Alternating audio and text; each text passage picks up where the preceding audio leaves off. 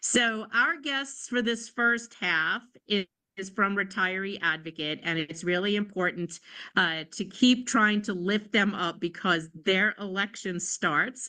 Their ballots were mailed to all of the UFT RTC retirees today, and uh, and so you should be getting them in the in the next couple of days.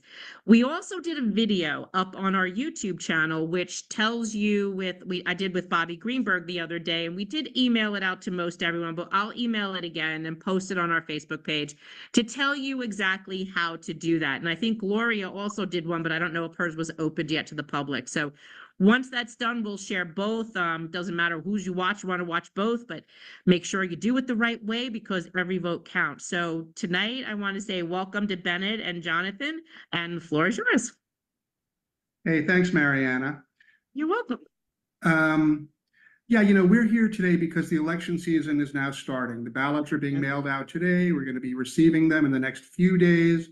And we're really here to talk to you about getting out the vote. And the best person to do that is right here, our, the retiree advocate candidate for Assistant Secretary of the Retired Teachers Chapter, Jonathan Halabi, who has uh, the amazing experience of being the 20-year chapter leader at the High School for American Studies at Lehman College, and who was also an 11-year member of the UFT Executive Board, and who also has the incredible mind of a math teacher, whether you love that or hate that.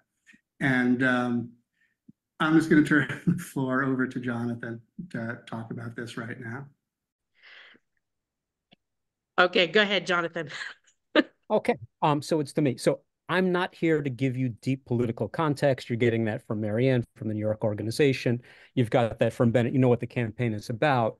Um, Retiree Advocate has never won a, a run a winning campaign within the retired teachers chapter. Uh, Mhm. we used to get 10% of the vote. I'm saying we, uh, we wasn't including me. I was just showing off. I've got my, I turned 60. I, I wasn't part of this organization last time around. Here I am. Um, jumped to about 30% when when this story broke, when the PSC leaked the information that the UFT would not share with its members. Um, and we've built, and we've built a lot. And between our efforts, uh, the New York City organization helped with with us. We're running a slate of 300 delegates, more than we've ever run a full slate. We filled our slate before Unity.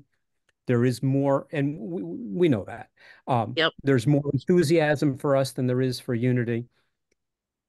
There's all these things going for us, but this is an entrenched caucus that has entrenched support. All of the work that we've been doing for the last few months has gotten us to the point where we have a chance to actually win this election. It's not to come close. The goal is not to embarrass Mulgrew, although I'm okay with that.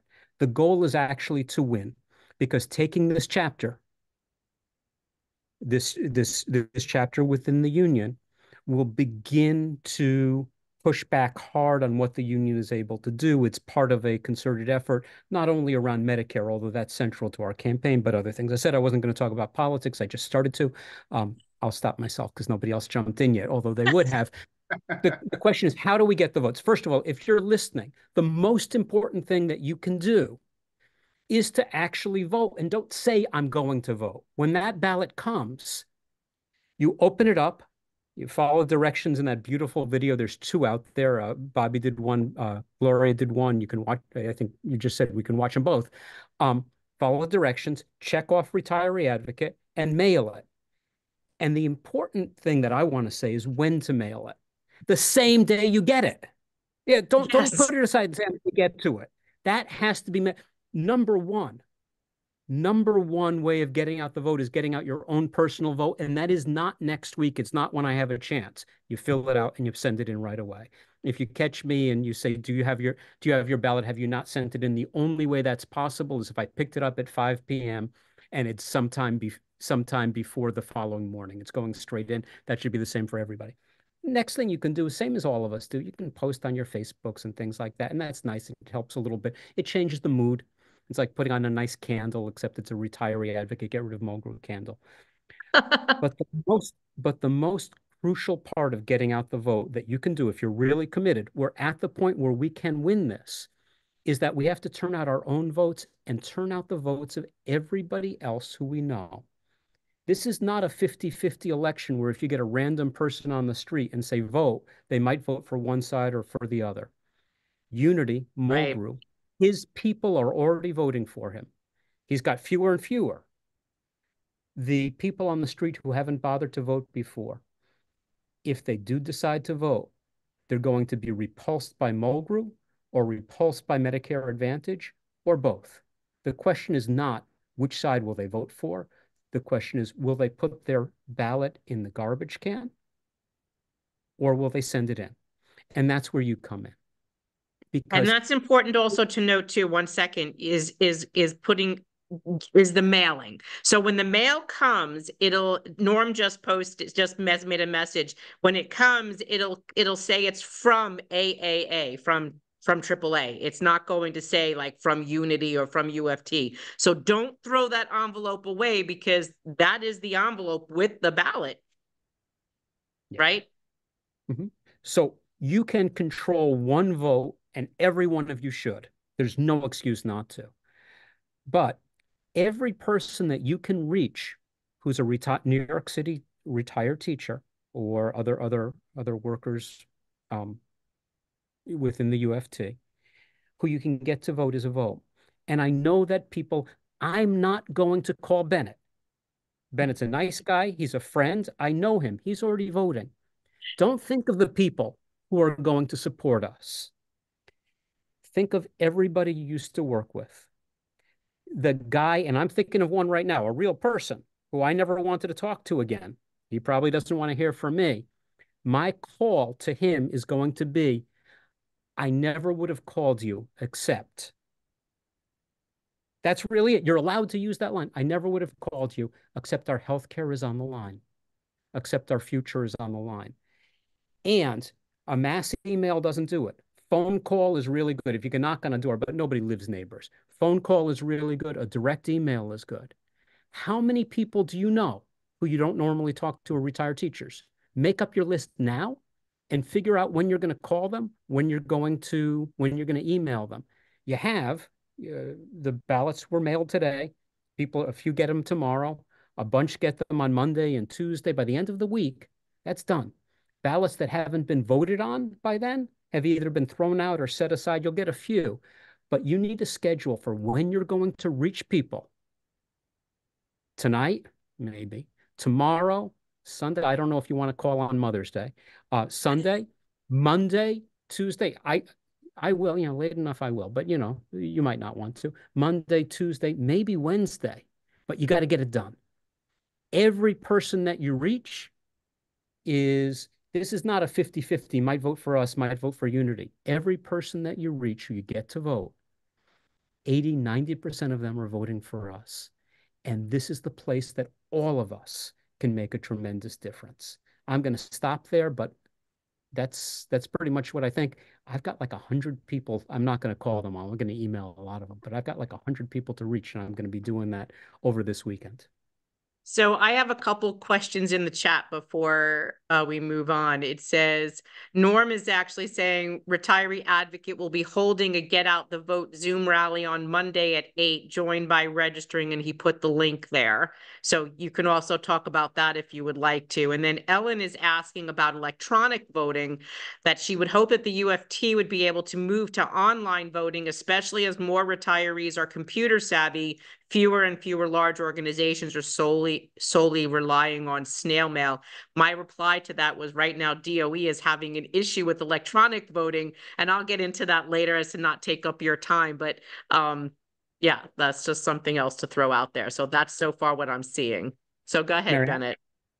Okay, so we would love to have accurate, good electronic voting. We would like to enfranchise the greatest amount of people that we possibly could.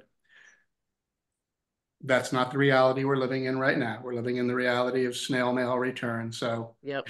you know, so that's that. But I also want to get back to a point that Jonathan, um, you know, just made before about digging deep to find out who you can contact to get those people who are the plus ones, right? Not just you, but the plus ones and the plus twos that you can get. Because just yesterday I was talking to Jonathan and I and I was like, Jonathan, you know, I've already contacted, you know, of course, everyone I know, I think, but there's like I was there, there were like those six or seven people who I was like reserving who like, oh, you know, I'm just gonna get to them at the last minute because I know they're gonna vote for us, but I, you know, they're not that politically involved, and I just want to remind them at the last minute kind of a thing. And and Jonathan was like, really only six or seven? And I was like, yeah, like, yeah.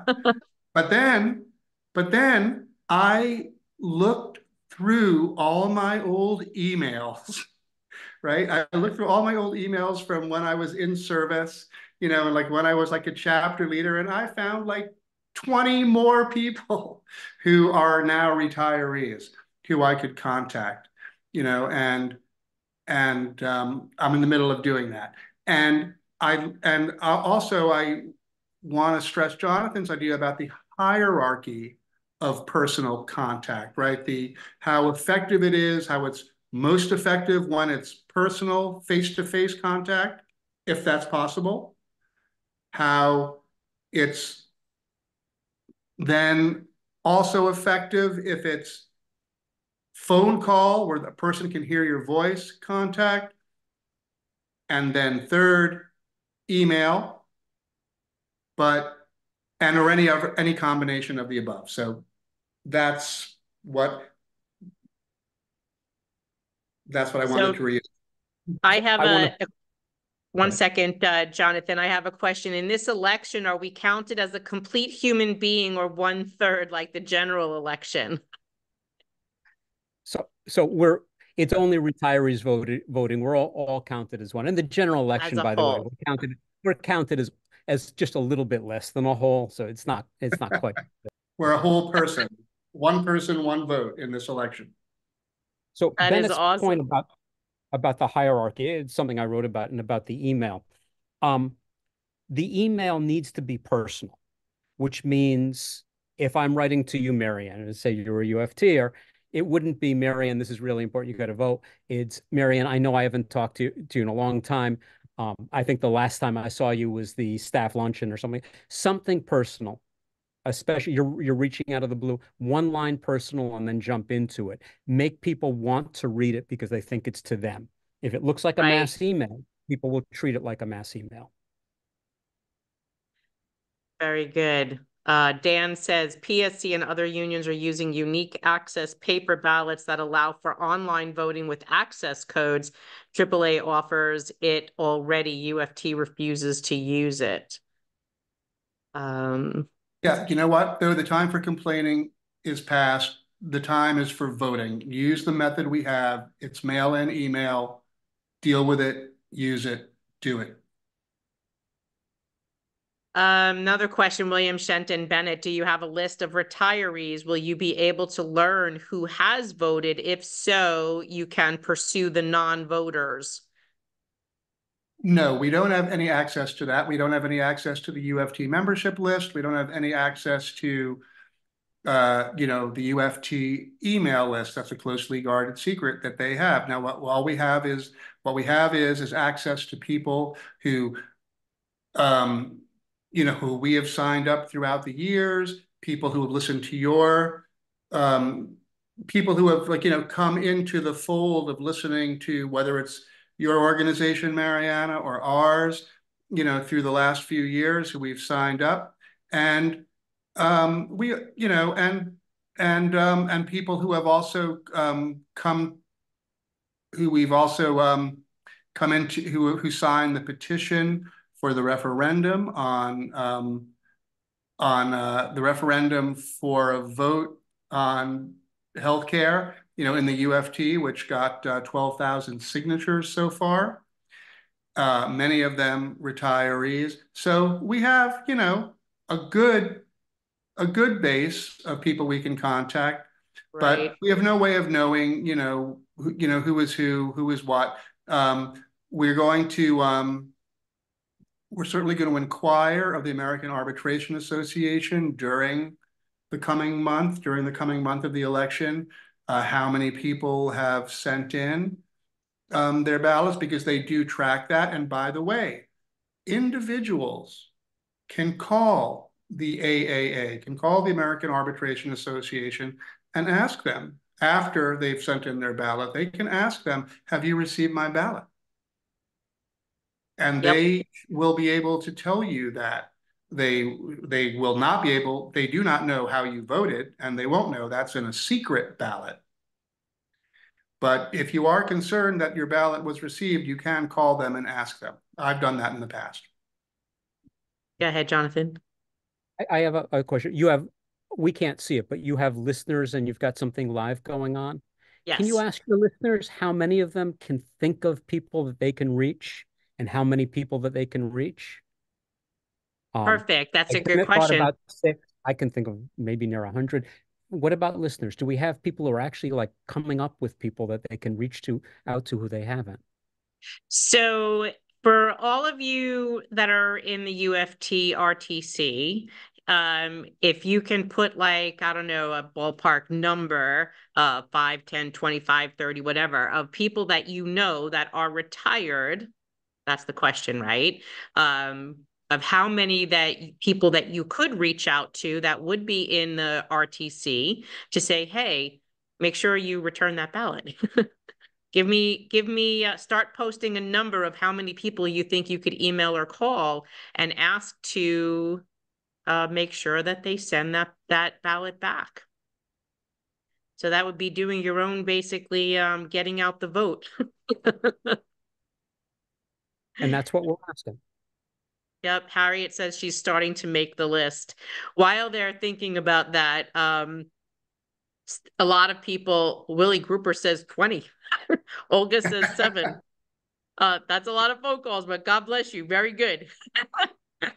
Um, that there's a lot of people that are saying that they got the, uh, that they got the Unity flyer in the mail today. So we told them, just send it back to them, or you could send it, or send the RA flyer back to them and make sure that you post it on uh, Nextdoor, which is a, an interactive neighborhood website, and, or put it on Patch, or do both. I mean, just get it out there, put it on your Facebook page, email it to your friends.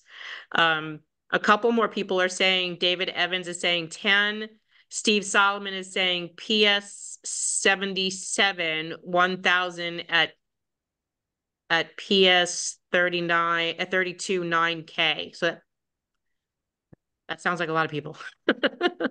Helen yeah. says ten to fifteen. Um, Norm Scott also don't vote for some of the RAs, but just check the box on the first page, tear it off and don't send in the rest of the booklet. Yeah, so we're, it's encouraged for you because of the way they count the vote, not to just pick and choose individual people, but just to vote for the whole slate. There's over three hundred people, right, on your, on your slate? There's three hundred people on your slate. So vote for the slate. That is, those are the ballots that they count first. Mhm. Go ahead. Yeah. Unity has used slate voting to their advantage for sixty years. Yep. Many people, when they get a ballot, will see the slate and they'll also see the booklet of three hundred other people or six hundred other people on the ballot, and they'll begin picking and choosing their friends, good people from both parties. But that's not effective. That's not gonna get you the chapter leadership that you want. That's not gonna get any change. Those individual votes aren't counted unless there's a tie vote within the slate voting.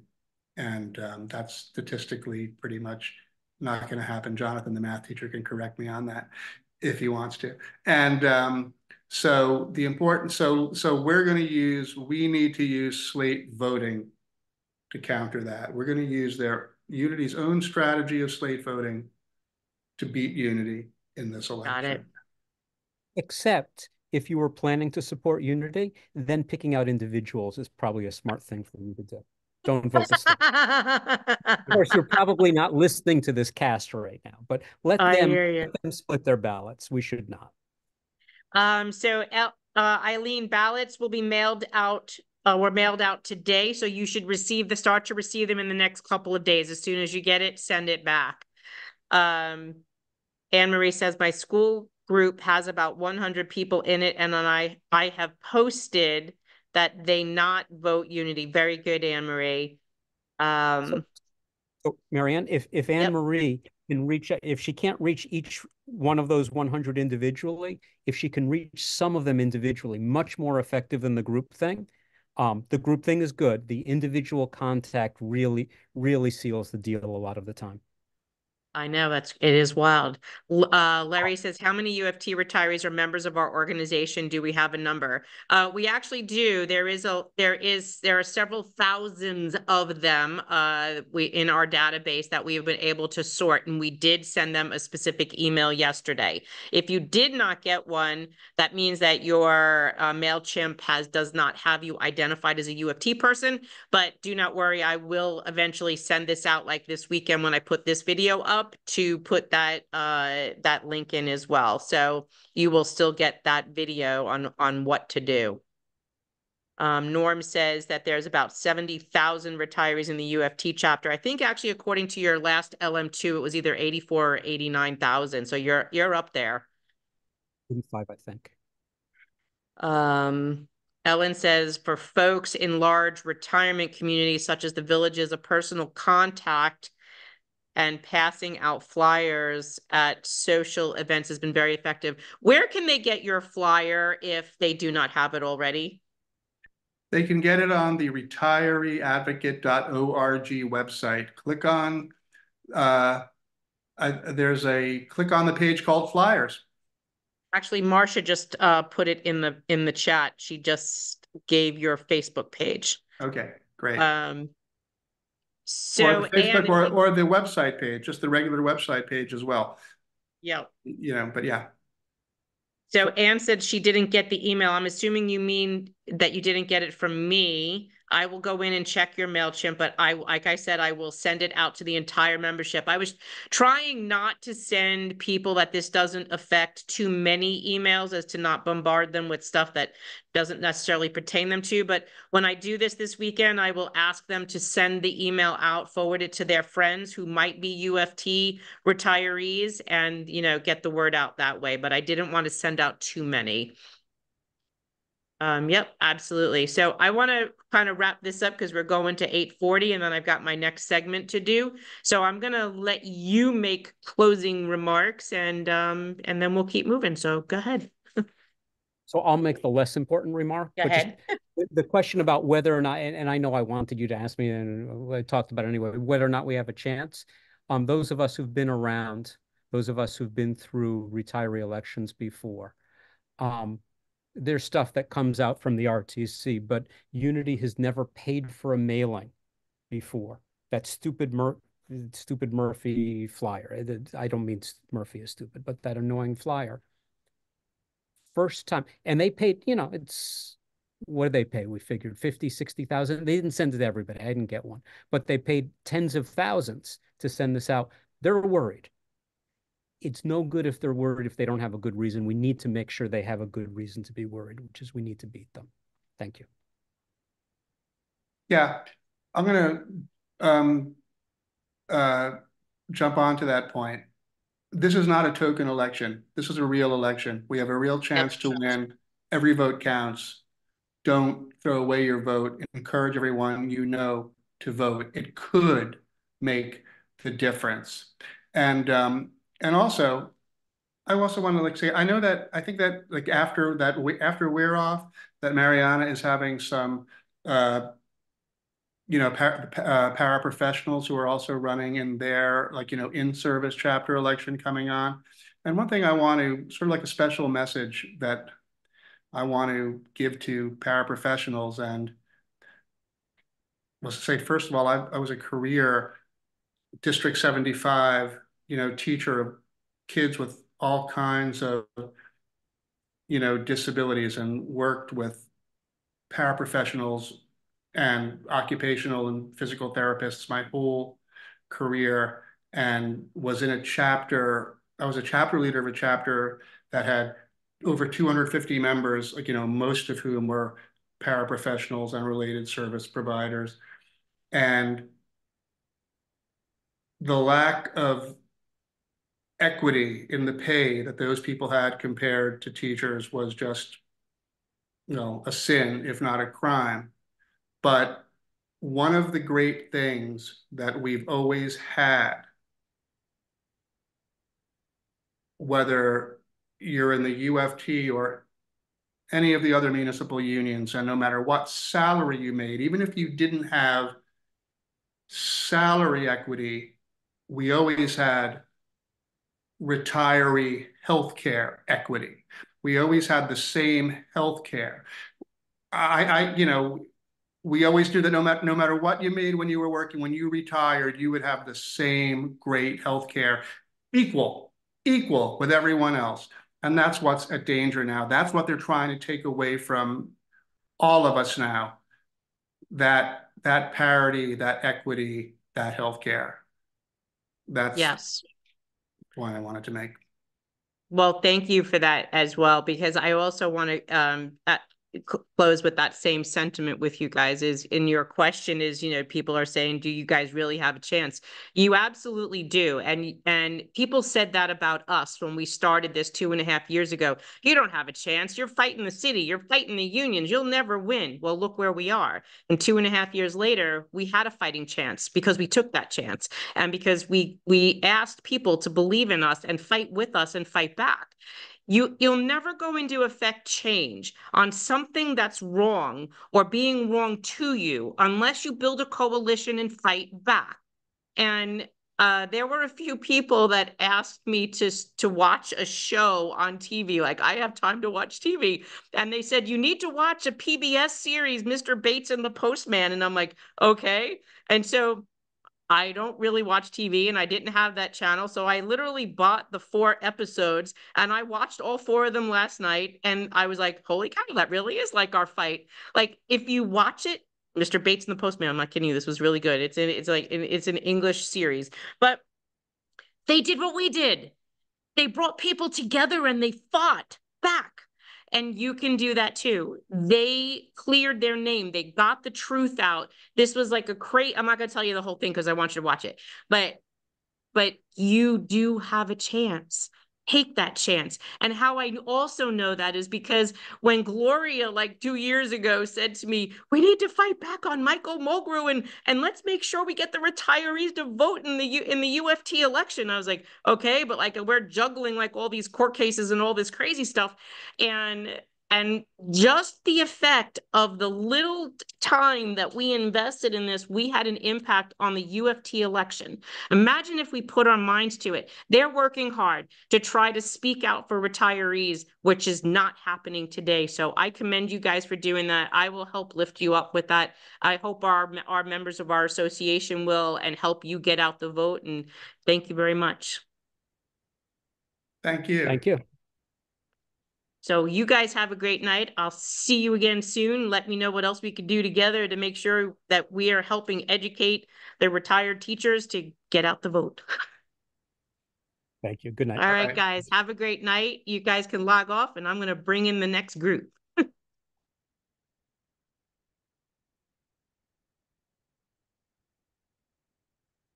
Bye.